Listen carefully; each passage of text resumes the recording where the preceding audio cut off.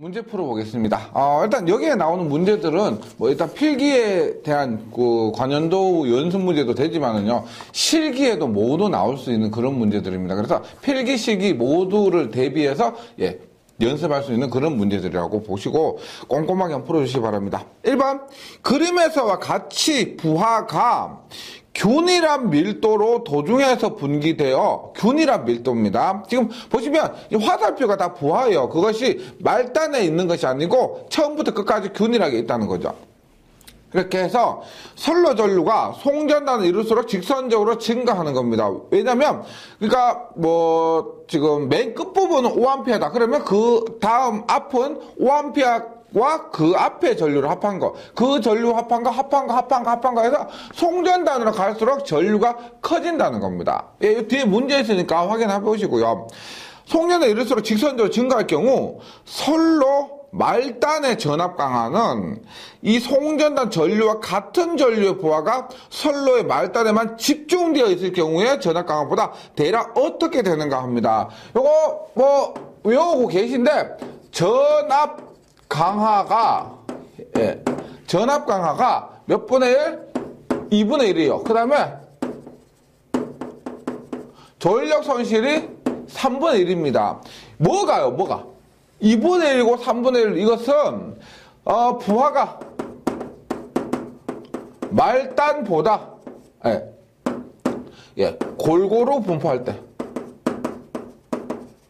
말단보다 골고루 분포할 때가 우리가 2분의 1, 3분의 1 이렇게 된다는 거예요. 그래서 1번에 요거 헷갈리지 마시고요. 1번에는 전압 강화가 2분의 1로 된다. 골고루 분포되어 있을 때는 2분의 1로 된다. 이거고요. 2번을 한번 잘 보시면은 보세요. 그냥 무턱대고 송전단의 전류가 동일하고 배전선 주력자에서 무시하면 배전선 말단의 단일 부하가 있을 때 전력 손실은 배전선의 균등한 부하가 분포되어 있을 경우에 전력 손실이 몇 배냐 해서 전력 손실에서 3분의 1 이렇게 답하시면 안 되고요. 지금 보시면 말단의 단일 부하가 있을 때는 말단에 있을 때 안 좋을 때는 우리가 배전선에 따라 균등한 부하가 분포되어 있을 경우 좋을 때에 비해서 몇 배냐 전력 손실을 몇 배냐 3분의 1이 아니고 이때는 3배가 되는 거죠 맞죠? 맞죠? 이게 말단에 있을 때가 균등하게 있을 때 몇 배냐고 물었기 때문에 이때는 3배라고 해야 됩니다 3분의 1 이렇게 무작정 하시면 안 되고요 예, 이 관계를 잘 보시기 바랍니다 어, 계속해서 3번 문제인데요 네, 3번 문제인데 그래버로 되어 있지만 전혀 어려운 게 아닙니다. 한번 보세요.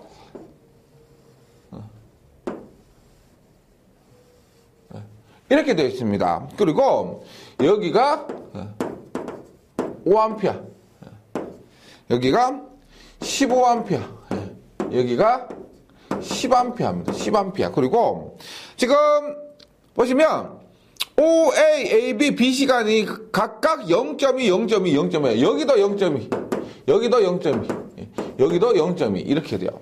그리고 요 점이, 5점이 110V입니다. 110V. 110V고, 이때 부하 역률은 100%고요. C점, ABC 할 때 ABC에서 C점의 전압이 얼마냐 이렇게 묻습니다. 근데 이 문제에서는요, 제가 지금 그 풀이는 원래 실기에서 풀면은 좀 깔끔하게 풀어야 되잖아요. 풀이 과정이나 이렇게 쫙 써야 되는데 이렇게 푸지 마시고 보세요. 지금 얘가 10A 그럼 여기는 몇 암페어 흘러요? 10A하고 15A니까 여기에 흐르는 그 총 여기에는 몇 암페어 흐른다? 킬로와퍼 법칙에 의해서 여기가 15암페어고 여기가 10암페어니까 여기에 흐르는 건 얼마다? 여기에 흐르는 거는 25암페어가 됩니다. 맞죠? 25암페어. 10암페어, 15암페어니까 여기는 25암페어가 돼요. 그 다음에 여기 25암페어, 여기 5암페어니까 여기까지 흐르는 전류 얼마다? 30암페어가 됩니다. 30암페어. 따라서 따라서 지금 여기에 전압강 얼마냐? 30암피아가 흐르고 0.25미니까 여기에 전압 강화는 6볼트가 됩니다. 36, 30 곱하 0.2가 6볼트. 그 다음에 여기는 25암피아 곱하 0.2 하니까 여기 전압 강화가 5볼트가 됩니다. 5볼트. 네. 그 다음에 여기는 킬로프 법칙에 10암피아죠. 10암피아가 그대로 흐르니까 여기에 0.2에 10 하니까 얼마? 2볼트가 됩니다. 2볼트. 그러면 지금 110볼트에서 여기에서 전압 강화 6V 깎아 먹고 여기에서 전압 강화 5V 깎아 먹고 여기에서 전압 강화 2V를 깎아 먹으니까 답이 얼마다? 97V가 된다는 겁니다. 97V. 우리가 이런 문제에서는 지금 그림이 그려져 있으니까요. 대입해서 그냥 110에서 여기 계산, 계산, 계산해서 빼주시면 됩니다. 예, 빼주시면 되고요. 4번도 마찬가지예요. 4번도 똑같은 그림인데 한번 연습 다시 하시라고. 예, 예. 이렇게 봅니다. 예. 어, 지금 보시면 저항값이 틀려요. 0.1, 0.1, 0.2요. 예. 0.1, 0.1, 0.2고 전류가 5, 15, 10 전류는 똑같죠. 위에 문제라 5A, 15A, 10A입니다. 그리고 지금 F점의 전압이 105V예요. 여기 전압이 105V입니다. 예, 105V다. 예. 그럼 앞에 한 것과 마찬가지 보세요. 여기는 10A가 그대로 흐르고 여기는 25A. 예.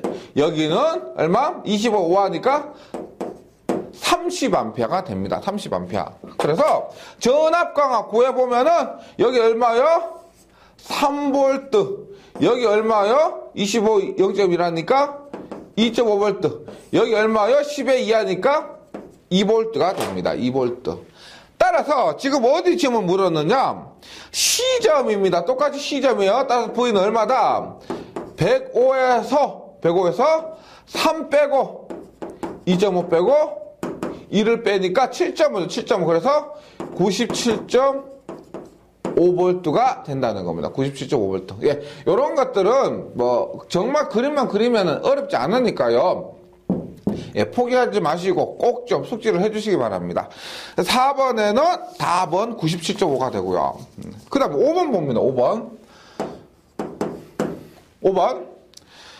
어, 단일 배전선에서 부하 역률 코사인 세타, 부하 전류가 I고요. 선로장 R, 렉턴스가 X라고 하면은 배전선에서 최대 저격가가 생기는 조건인데요. 최대 저격가가 생긴 조건은 탄젠트 세타가 R분의 X다 해서 외워주시면 되는데요.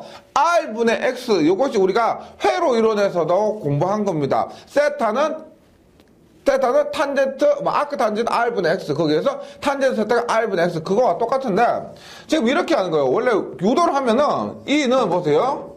I에 R, 코사인 세타 플러스 X의 사인 세타입니다. 근데, 우리가 이런 지금 이게 수학적으로 어떤 값이 최대가 된다라고 했을 때, 어떤 값이 최대가 된다고 했을 때, 그것을 증명하는 방법이 뭐냐면은, 그 식을 미분을 해서 0이 되는 겁니다. 그래서 뭐 수학적으로 깊이까지 하실 필요 없는데요. 이것이 우리가 회로 이론에서 뭐 최대 전력 전달 조건, 그 다음에 전기 기계에서 최대 효율 조건, 그런 곳에서 사용이 되는 겁니다. 그래서 뭐 제가 간단히 풀이만 드리면, 어떻게 하냐면, 요거 있죠. D세타분의 D.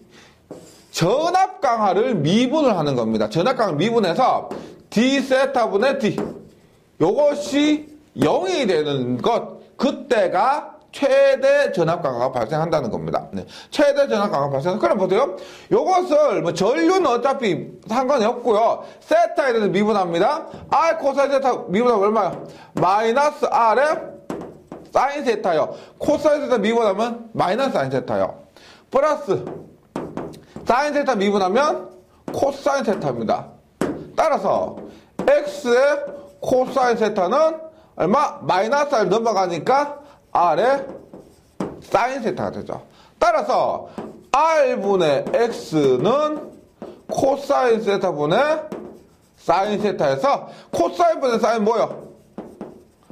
탄젠트 세타가 되죠. 탄젠트 세타. 그래서 어, 뭐다? 탄젠트 세타는 R분의 X 이러한 조건이 됩니다. 그래서 지금 뭐 시험장 가서요 바쁜데 이거 유도하고 계실 시간이 없잖아요. 그리고 이것 자체가 전압 강화 최대로 되는 조건은 변하지가 않습니다. 삼상도 마찬가지예요. 따라서 요거 네, 외워주시면 되겠습니다. 예. 최대 전압 강화 발생하는 조건 탄젠 세타는 R분의 X다. 이렇게요. 계속해서 6번 갑니다. 6번. 뭐냐? 수용력 85, 부하율 60%, 설비용 302kg라면 최대 수용 전력 몇 킬로와트냐 이런 문제 나왔죠. 이게 뭐 수용률, 부동률, 부하율 관계된 문제들입니다. 그런데 여기서 용어 하나하나에 대해서 확실히 의미를 알고 계시고요. 그 다음에 공식 적용할 때도 쓰잘데기 없는 게 있으면 그게 과감하게 쳐낼 줄 알아야 됩니다. 지금 6번 문제도 보세요. 수용률 80, 부하율 60, 설비용량 320 이렇게 나오잖아요. 그러면 찌고 뽑고 뭐 80, 80% 그러니까 0.8 곱하기 320 했다가 여기 0.8 곱하기 320 나누기 0.6 했다가 이렇게 찢고 뽑고 하는데 그래서 제가 여기 이 부분 설명드릴 때 의미를 확실하게 기억하셔야 된다고 했었습니다. 보세요. 지금 설비 용량이 뭐야고 해서 설비 용량이 제가 말씀드렸을 때 이론에서 말씀드릴 때 에어컨, 뭐 히터, 세탁기, 뭐 냉장고 이런 것이 설비 용량이라고 했어요. 설비 용량. 그리고 최대 수용 전력이 뭐라고 했다? 최대 수용 전력은 역률이 없을 때 변압기 용량이라 고 그랬죠. 그래서 보세요. 이겁니다. 수용률은 수용률은 설비 용량 분의 뭐다? 최대 수용 전력입니다. 이렇게 되는 거. 지금 부하율 60%가 함정인데 이거에 연연해서 이 쉬운 문제를 틀리는 것이에요. 예. 요렇게 그냥 합니다. 그래서 최대 수용 전력 얼마? 최대 수용 전력 얼마? 설비 용량 곱하기 수용 이렇게 해서 결과는 뭐예요? 지금 320에 수용률 80%니까 320 곱하기 0.8이에요. 8 얼마? 2816, 3814니까 256kW가 된다는 겁니다. 네. 그래서 지금 요 문제는 그냥 공짜로 주는 문제인데요. 그냥 문제답 문제답 하는 분들은 틀리시는 겁니다. 예, 요거 다시 정의에 대해서 한번 복습을 해주시고요. 이런 문제 틀리면 안 됩니다. 7번 문제로 가볼게요. 7번 문제. 어느 빌딩 부하의 총 설비 전력이 400kW입니다. 총 설비 전력이 400kW, 설비 용량이요. 설비 용량이 400kW고 수용률이 0.5라고 하면 이 변전, 이 빌딩의 변전 설비 용량은 몇 킬로볼트 암페어 이상이어야 하는가? 변전 설비 용량이 뭐예요? 변전 설비 용량이 우리가 역률이 없을 때 최대 수용 전력을 얘기하는 겁니다. 최대 수용 전력이고 여기에 부하의 역률이 0.8이다, 80%다. 그런 말은 지금 6번 문제에서 역률이 없었으니까 그냥 한 건데요. 여기에서는 어떻게 한다?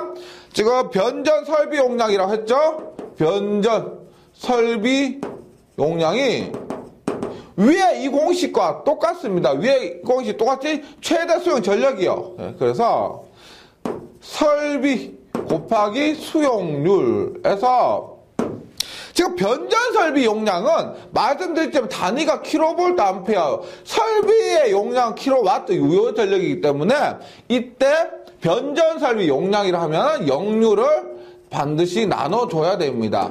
역률분의 유효 전력이 피상 전력이기 때문에 이렇게 되는 거예요. 그래서 입니다. 설비 용량이 400이고요. 400이고 수용률이 얼마다? 0.5입니다. 0.5. 그 다음에 역률이 얼마라고 했냐면 80%예요. 역률 80%니까 0.8을 나눠주면 됩니다. 이것이 250이다. 예, 250이다. 어, 뭐 7번에 그래서 답이 4번이고요. 한 8번 봅니다. 8번. 네, 이런 문제 계속 반복해가지고 너무 많이 나오기 때문에 문제도 많습니다. 총 설비 부하가 120kW 유효 전력이죠. 설비가 120입니다. 수용률 65% 0.65, 역률 0.8인 수용과에 공급하기 위해 변압기 최소 용량은 몇 kV 암페어인가라고 합니다. 변압기 용량은 얼마나 하는데 어 지금 보세요. 앞에와 똑같은 문제입니다. 변압기 용량은 설비 용량 곱하기 수용률 분의 역률인데 예, 봅니다. 지금 설비가 120이고요. 120이고 수용률이 0.65. 예, 역률이 0.8입니다. 0.8일 때 계산을 하면은 97.5가 나옵니다. 97.5kV 남편한데 우리가 이런 게 있어요.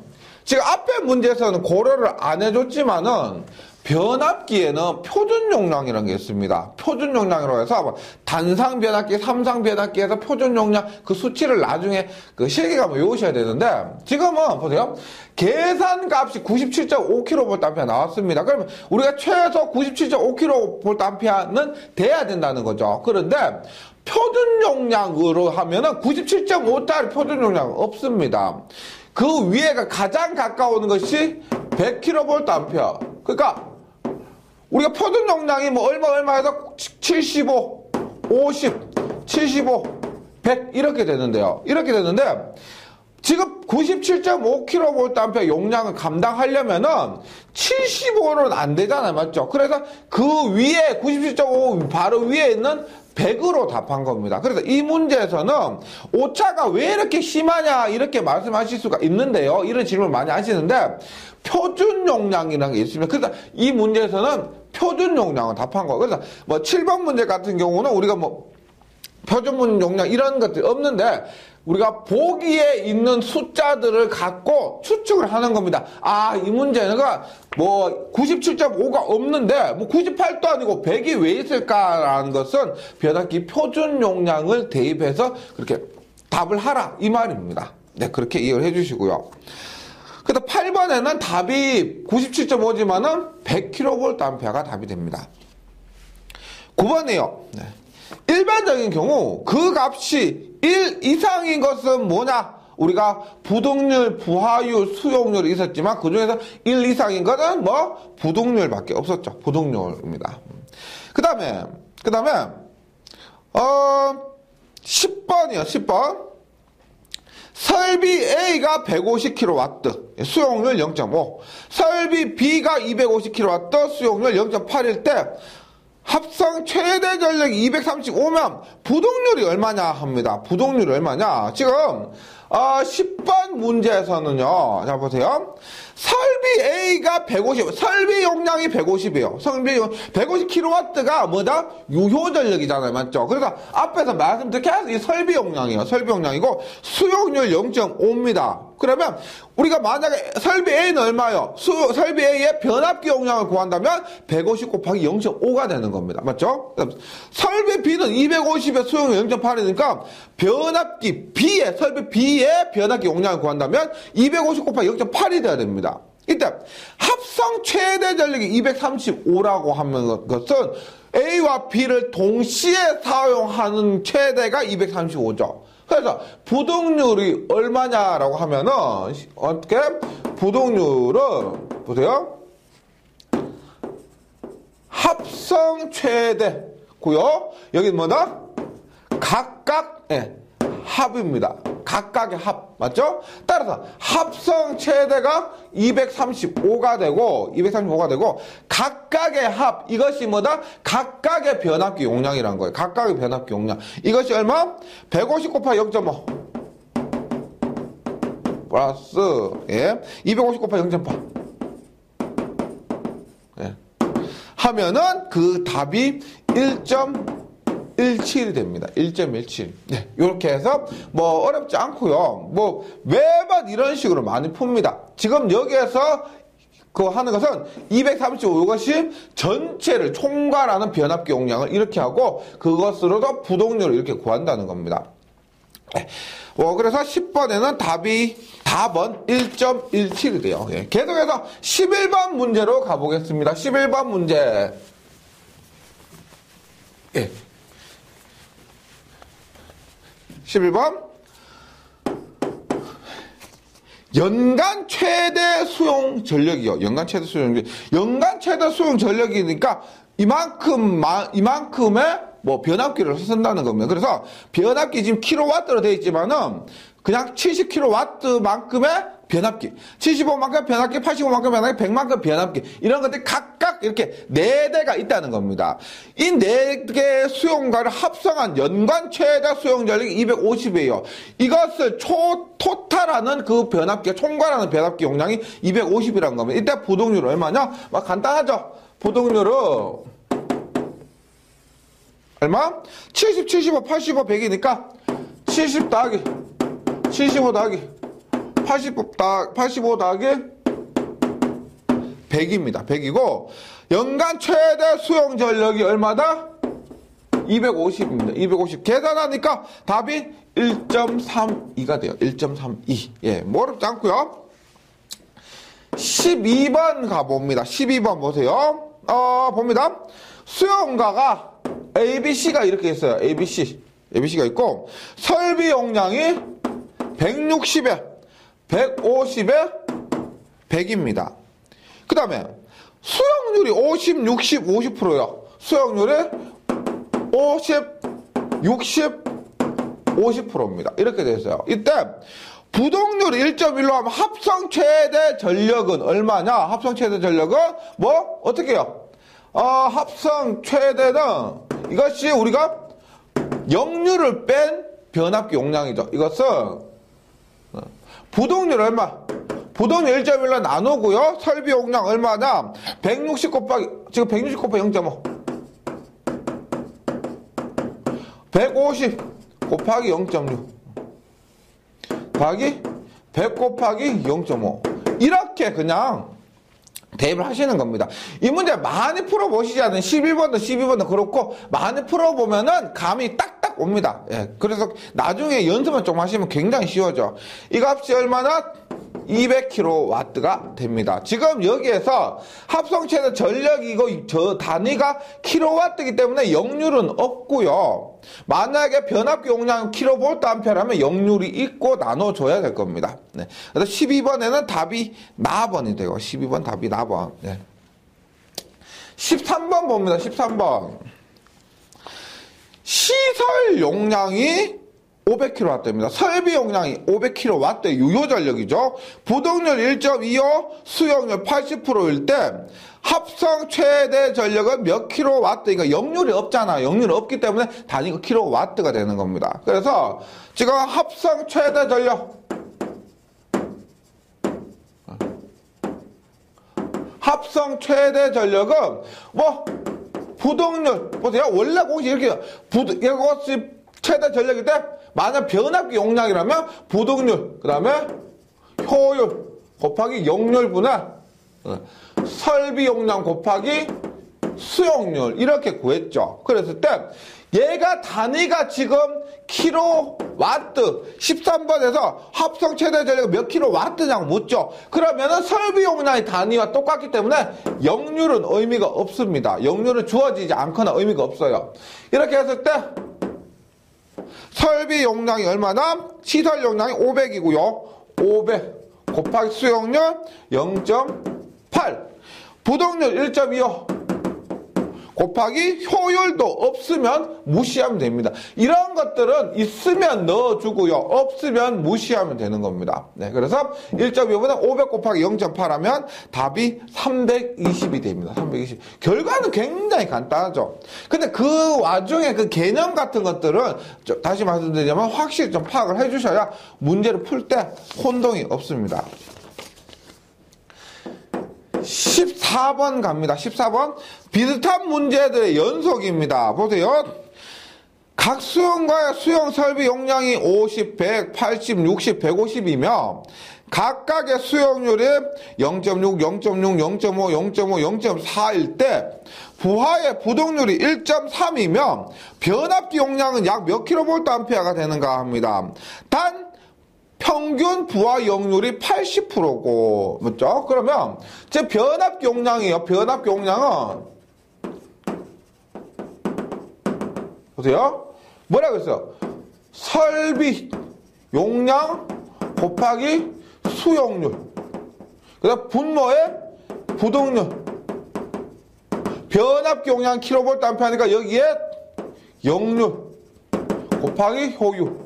이런 것들 들어가는데 여기에서 있는 것만 넣어주면 됩니다. 뭐 효율을 없으면 빼주면 되고요. 그래서 봅니다. 지금 얘가 많죠. 많기 때문에 보세요. 설비 용량이 50에 0.6. 그죠? 앞에 거부터 한번 봅니다. 앞에 거 50에 0.6. 그 다음에 100에 0.6. 100에 0.6 더하기 80에 0.5. 80에 0.5, 60에 0.5. 더하기 150에 0.4입니다. 하고 지금 부동률 얼마고 해서 부동률이 1.3이요. 1.3이고 1.3이고 벼, 어, 영률이 0.8이에요. 0.8. 이렇게 해주셔야 돼요. 그럼 지금 나머지는 뭐 계산기로 잘 두드리시면 실수 없이 두드리시면은 답이 212가 나옵니다. 212. 그래서 답은 라번이에요. 212. 예. 어, 15번 문제를 가봅니다. 15번 문제. 15번 문제 봅니다. 수용가를 2군으로 나뉘어서 각 변압기에 한 대씩을 설치하고 각군 변압기 한 대씩 설치하고 각군 수용과의 총 설비 보호 용량 각 20 및 30이라고 합니다. 각 수용과의 수용률 0.5, 각 수용과 상호 간의 부동률은 1.2, 각 변압기 상호 간의 부동률 1.3이라고 하면 고압 간선에 대한 최대 부하는 몇 킬로볼트 암페어가 즉 변압기 용량입니다. 그리고 부하 용률은 모두 0.8이에요. 이렇게 해서 보세요.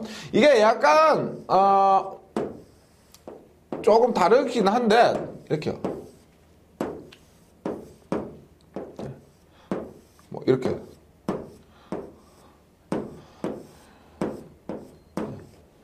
변압기를 이렇게 2군으로 나누었다는 겁니다. 보세요. 지금 2군으로 나누어서 변압기 한 대 설치하고 각 군의 수용과 총 설비 보호 용량은 30, 얘가 30kW고요. 얘가 20kW입니다. 20kW고 각 수용가의 수용률을 수용률을 0.5. 그다음에 어, 얘도 0.5, 0.5. 그다음에 보세요.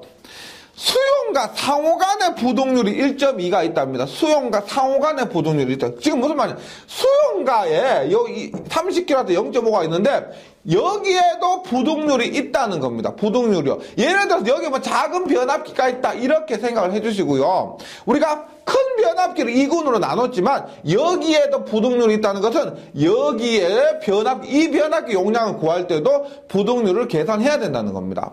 그래서 여기에도 1.2, 어, 여기도 1.2. 1.2요. 그 다음에 얘하고 얘를 총괄하는 이 변압기 부동률이 1.3이라는 겁니다. 1.3.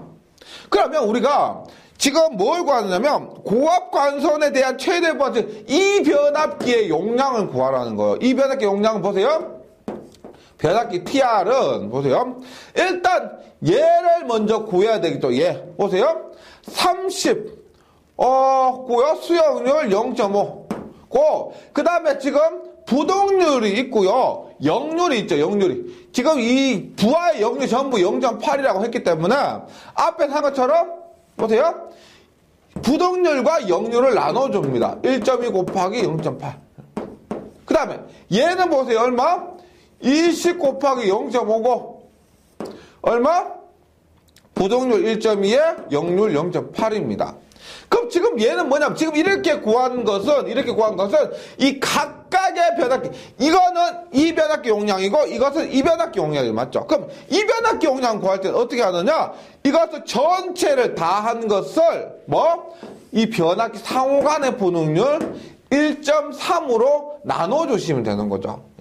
TR은 이렇게 하는 겁니다. 그래서 다시 하지만 이렇게 구하는 것이 제가 이변압기의 용량이고요. 이렇게 구하는 것이 이변압기의 용량이면은 이변압기의 용량을 구할 때는 뭐다? 이변압기 용량 다 이변압기 용량을 해서 뭐 전체 이 상호 간의 부동률 1.3으로 나눠주면은 그때가 이 변압기의 용량이 됩니다. 그리고 이때 이때 역률은 있잖아. 역률은 지금 제가 여기도 0, 지금 보, 문제에서 부하 역률을 모두 0.8이라고 했기 때문에 여기도 0.8 나눠주고 여기도 0.8 나눠줬잖아요. 이렇게 안 하고 여기 안 하고 여기 밑에 한꺼번에 0.8을 이렇게 나눠줘도 상관없습니다. 네, 어떻게 하든 상관없죠.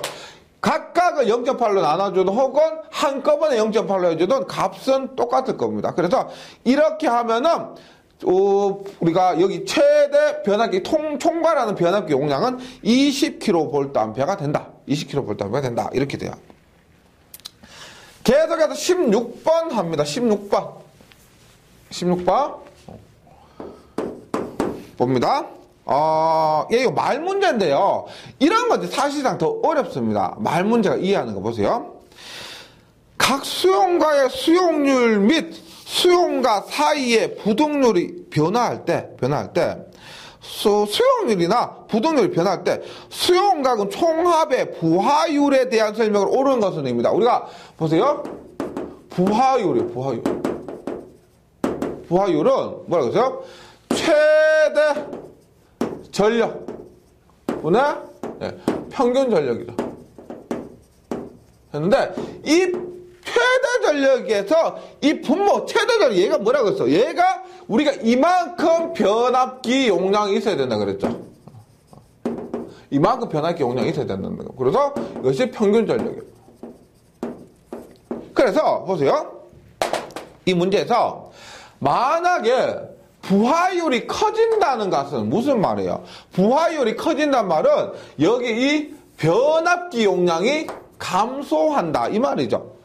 변압기 용량이 감소하면 부하용률이 커지는 겁니다. 이렇게 되는 거예요. 그래서 보세요. 부동률 우리가 부동률 보세요. 부동률 부동률은 뭐다? 지금 부동률에서 변압기 용량이 뭐였어요? 변압기 용량이 요것이 이것이 분모에 가는 것이 제가 변압기 용량이라고 했죠. 예. 그래서 변압기 용량은 설비 용량 곱하기 수용률 분의 부동률이다. 부동률 분의 설비 용량 곱하기 수용률이다. 이렇게 얘기했었잖아. 맞죠? 그러니까 부동률 구할 때는 변압기 용량이 분모에 왔습니다. 분모에. 그 다음에 수용률 구할 때는 보세요. 설비 용량 분의 합성 최대 최대라고 해서 분명히 제가 이것이 변압기 용량이라고 했어요. 변압기 용량. 이렇게 말씀드렸죠. 그래서 따지고 보면 이렇게 되는 겁니다. 보세요. 부동률이 크면은 부동률이 크면은 변압기 용량이 작아집니다. 변압기 용량이 작아져. 변압기 용량이 작아지면 변압기 용량이 작아지면 부동률 부하율이 부하율 부하율이 커지면 변압기 용량이 작아지는데 지금 변압기 용량 얘가 작아지면은 부동률은 커져요.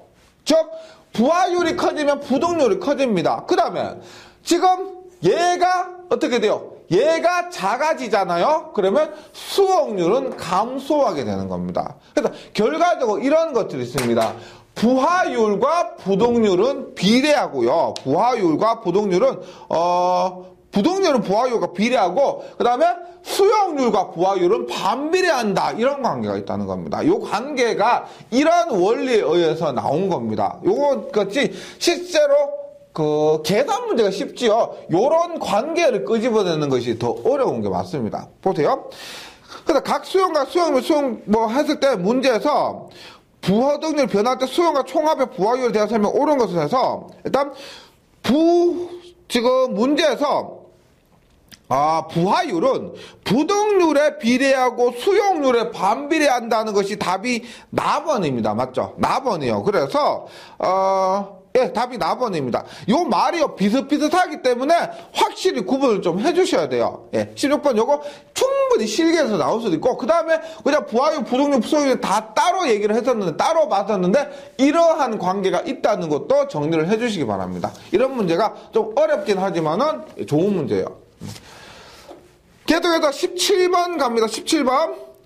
수전 용량에 비해서 첨두 부하가 커지면 부하율은 그에 따라 어떻게 되는가 합니다. 17번은 첨두 부하라는 게 뭐예요? 첨두 부하가 최대 전력이에요. 최대 전력. 맞죠? 첨두부하만큼 변압기 용량이 갖춰야 합니다. 그래서 최대 전력이 첨두부하인데 첨두부하가 커지면은 변압기 용량이 커지면 부하율은 낮아지게 된다는 겁니다. 즉 부하율에서 분모가 작아지니까 아, 분모가 커지기 때문에 부하율 자체는 낮아진다 이런 관계요. 이거 외우지 마시고 한번 그 의미를 꼭 되새겨 보세요. 지금 이렇게 좀 여기서 고생하시잖아요. 그러면 실기 가서 남들 고생한 이것 때문에 고생 많이 하세요. 그때 얼마나 편할지 모릅니다. 이 부분이 실기에서 굉장히 중요한 부분이고요. 많이 고민하고 많이 힘들어하시는 부분입니다. 별거 아닌 것 같아도. 그거 지금 여기서 커버해서 딱 갔다고 하면은 이 부분에서 걱정이 없으니까 그만큼 수월하게 공부하실 수가 있습니다. 예, 믿어주시고 확실히 좀 공부 정리해 주시기 바랍니다. 18번 문제로 가볼게요. 18번. 어, 한번 봅니다. 지금 이걸 200볼트고요. 10kV 암페어인 삼상 유도 전동이요. 네. 삼상 유도 전동기가 있습니다. 지금 뭐 200V, 10kV 암페어라는 것은 전격을 얘기하는 거죠. 전격. 예. 이때 어 어느 날에 부하 실적은 1일에 사용 전력량 72kWh. 예. 어, 전력량 1일 72kWh입니다. 그리고 1일에 최대 전 1일에 최대 전력이 9kW래요. 9kW고 어, 최대 전력 9kW.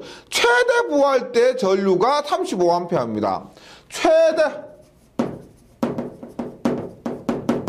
부하 시 전류가 35A, 35A일 때, 이 지금 문제는 뭐냐? 1일의 부하율과, 부하율과 최대 공급 전력일 때 역률입니다. 아, 이거 좀 상관없는 것 같은데 한번 보세요. 일단, 1 부하율이요. 1 부하율은 최대분의 평균입니다. 보세요.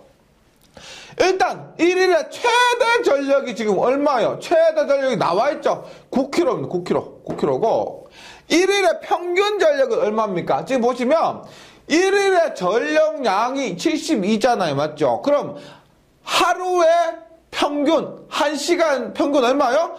하루 동안에 70이니까 1시간은 하루 24시간이니까 24로 나누는 겁니다. 그래서 9분의 24분의 70이 하니까 9분의 3에서 얼마? 9분의 3에서 3분의 1 0.33 이렇게 되죠. 0.33 이렇게 되고요. 그 다음에 최대 공급 전력일 때의 역률입니다. 최대 공급 전력일 때 역률은 어떻게 되느냐? 역률은 아시겠지만 피상전력분의 유효전력이요. 일단 보세요. 일단 봅니다. 지금 최대 공급 전력일 때 용률이죠. 그럼 최대 공급 전력이다 유효 전력 어떻게 돼요? 아 최대 공급 전력일 때 유효 전력은 9kg니까 9천이 됩니다. 9천. 예. 그 다음에 피상 전력은 어떻게 되느냐라고 하는데 여기에서 보세요. 간혹 있죠. 변압 지금 여기 유도 전동기에 10kV 암페어라고 되어 있기 때문에 이것을 여기에 대입하는 분이 계신데 이건 아니죠. 지금 얘는 뭐냐면 전격입니다. 전격. 보세요. 지금 200V입니다. 200V고 10kV 암페어요. 만약에 어 지금 단상이라고 하면은요. 단상이라고 하면은 200 곱하기 얼마? 50A. 200 곱하기 50A 하면은 10kV 암페어가 돼요. 그래서 200V 50A, 200V 전격 전압에 50A의 전격 전압을 흐르면 10kV A의 전격 용량이 된다는 겁니다. 근데 지금 문제는 전격을 얘기한 것이 아니고 뭘 물었다면은 최대 공급 전력일 때를 물었잖아. 그럼 전격이 10이라고 우리가 반드시 10으로 하는 거 아닙니다. 용량이 만약에 적어도 되면은 그 작은 설정, 그, 대입하는 거예요. 그래서 지금 여기서 얘는 함정이 맞고요. 지금 보세요. 피상전력 구하는데 최대 용 최대 전력일 때 용량 얼마냐? 일단 전격 전압은 변하지 않잖아요. 들어가는 전압이 부하에 따라 변하지 않습니다. 따라서 전압은 200이고요. 전류는 얼마냐? 최대 전력일 때 전류 얼마? 여기에 어 35A라고 되어 있죠. 최대 부하시가 최대 전력인 거예요. 따라서 35, 200 곱하기 35고 지금 여기에 3상이니까요. 3상이니까 여기에 루트 3이 곱해지는 겁니다. 네. 그리고 만약에 여기도 3상이라고 하면 루트 3 곱해요. 루트 3 곱하기 200 곱하기 50 하면은 이것이 아 50이 아니죠. 루트 3 곱하기 200 곱하기 얼 전류를 한 것이 10kV 암페어지 이것은 말씀드리면 전격입니다. 약간 최대기 때문에 이만큼 오버할 수도 있는 거예요. 전격은 가장 좋은 상태를 전격을 하지 그것을 넘으면 안 된다 그런 거 아니에요. 넘어도 상관없는데 그 수명이 따라 작아지고 뭐 효율이 낮아지고 이런 것들 때문에 상 전격이 정해진 겁니다. 따라서 전격이 이렇게 있다 하더라도 지금은 최대 전력일 때를 물었기 때문에 이런 값을 대입해야 돼요. 그래서 이 문제가 제가 나왔을 때도 생생한데, 예. 이 문제를 시- 여기 비상전력 자리에 10kVA를 대입해가지고 굉장히 많이 틀리셨어요. 예, 이런 문제는 이 함정이고요. 이렇게 풀어야 하는 것이 맞습니다. 그래서 좀 강조를 드렸고요. 그래서 이렇게 하면은 0.742니까 0.742니까 74.2%가 됩니다. 74.2%. 18번에는 답이 나번이에요. 요거 이런 문제 있죠. 함정 때문에 많이 어려워 하시니까요. 그 개념을 확실히 잡고 가주셔야 됩니다. 네. 그 다음에 19번 보면 19번 30일간 최대 수용전력 200kW고요. 최대가 200이고요. 소비 전력량 7만 2천일 때 월부하율 얼마냐 합니다. 월부하율은 얼마다? 우리가 최대분의 월간 전력량이고요. 여기 얼마 곱한다? 720 곱했죠. 왜? 24 곱하기 30이라서 720입니다. 따라서 월간 전력량 7만 2천 2천이고요. 720 곱하기 어, 최대 수용률 200이에요. 200 하니까 0.5가 됩니다. 0.5. 19번에는 답이 아, 퍼센트로 물었기 때문에 50%가 됩니다. 50%. 예, 그래서 19번 여기까지 하고요. 어, 문제가 많기 때문에 다음 시간에 이렇게 이번 시간 다음 시간 나눠서 문제 풀이 드리겠습니다. 지금 수, 몇 문제 풀진 않았는데요. 그만큼 중요한 문제라는 거 다시 한번 되새기면서 예, 정리를 해주시고 저는 다음 시간에 다시 뵙겠습니다. 수고하셨습니다.